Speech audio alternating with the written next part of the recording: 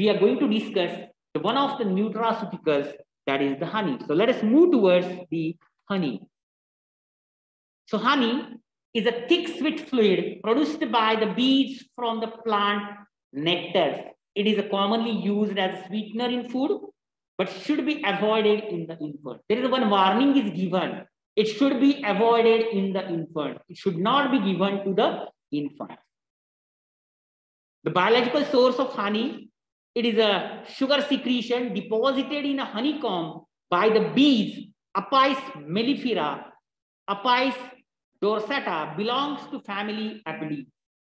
So this is the biological source of the honey. So whatever the honey is there, it is being collected by the honeybees and it is being stored in the honeycomb by the Apis mellifera and Apis dorsata belonging to family Apidae.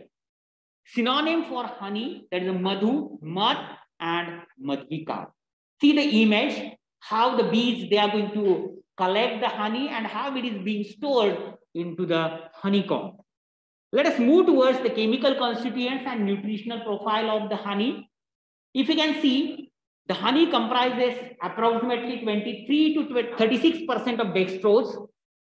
It comprises 30 to 47% of fructose, 0.4 to 6% of sucrose, along with the dextrin and gums, 0 to 7%. It comprises a small amount of essential oil, beeswax, pollen grains, formic acid, acetic acid, succinic acid, maltose, dextrin, coloring pigments, vitamins, and admixtures of the enzyme. The admixtures of the enzyme comprises the diastase, invertase, and the inulase. Furthermore, the honey comprises the amino acids like proline, lysine, phenylalanine, tyrosine, glutamic acid, aspartic acid. And the enzymes like glucose oxidase, invertase, diastase, that is amylase, and acid phosphatase. Whatever the chemical constituents are there which are present in the honey, it is related with the collection of the sugar secretion. What is the source for the collection of that particular sugar secretion? And that will decide the furthermore the chemical composition of the honey. Furthermore, the honey comprises the organic acids like uh, gluconic acid, butyric acid, formic acid, lactic acid, succinic acid, malic acid, and citric acid. Almost all weak acids are there which are present in the honey. There is organic acid. Some phenolic acids like ellagic acid, caffeic acid, and ferulic acids are also present in the honey. So these are the chemical constituents of honey. So let us move towards the health benefits of the honey. If you can see the honey, it is primarily composed of sugar as uh, we have discussed. It provides small amount of several vitamins and minerals and it is a rich in a health promoting plant compound. So whatever the constituents are there which are present in the honey, again it is belongs to the certain plants and it is rich with the all these chemicals. So honey contains a number of antioxidants including phenolic acid and flavonoids. So it is going to act as an antioxidant it is going to reduce the oxidative stress. Honey may offer some protective effect related to blood sugar management. Sometimes the honey, it, it is being utilized to in the management of the blood sugar level. Furthermore, it is being linked with the beneficial effects of heart health, including reduced blood pressure and blood fat level. Then honey can act as a natural and safe cough suppression. That is the main use of the honey. So honey it is being used to suppress the cough in the children.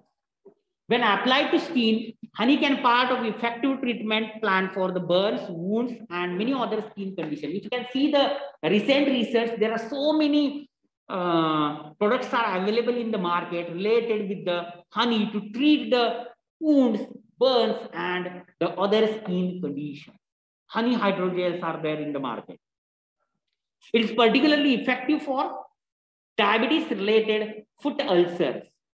It, it is possible to manage the wound which is being produced uh, related with the foot ulcers. It is having a antibacterial as well as the antifungal properties. It helps for the digestive issues like diarrhea, It is going to be used as a sweetening agent in the various products. Then it is having a demulcent properties and it relieves the dryness and it is beneficial in the constipation. So these are the some of the health benefits of the honey. Let us move towards the dosage. Around approximately 1 to 2 teaspoonful of honey can be taken daily. Let us see the side effects. As such, whatever the honey is there, it is being collected. All these are sugar secretions of the plant. It is being connect, collected by the honeybees, isn't it? And, and it should not have the certain side effects. But there are uh, two important side effects are there, isn't it? Uh, it should be avoided in the infants. And second thing is that if the honey is produced from the nectar of the rhododendrons, which contains a toxin that may cause the heart problem, low blood pressure, and the chest pain. So this is a, uh, one of the important things which should be considered related with the honey. Then the precautions, that is the, it should be avoided in the allergic conditions. There might be chances of production of the certain uh, allergic reactions. Furthermore, it is going to increase the blood sugar levels in the people with the type 2 diabetes. So it should be avoided in the type 2 diabetes. So, and it should not be given to the infants with the age less than 12 months due to risk of botulism poisoning. So these three things are important. One thing that is uh, if the person is allergic to the honey, it should be avoided. It should be avoided in the type 2 diabetes mellitus and it should be avoided in the infants as there might be the risk of the botulinum poisoning, it is going to be increased. Then the drug interactions. So very, there are two drug interactions are there. Very first drug interaction that is taking honey along with the anticoagulants and antiplatelet drug slows the blood clotting that might increase the risk of bruising and the bleeding. Honey may thin the blood anticoagulants may thin the blood. And when we are combining the honey with the these anticoagulants or the antiplatelet drugs, that may lead to the bruising or the bleeding. Anticoagulant drug, that is warfarin, and uh, antiplatelet drug, aspirin. The second drug interaction related to honey, that is a phenytoin. Phenytoin it is being used as an antiepileptic. It is going to manage the seizures, isn't it?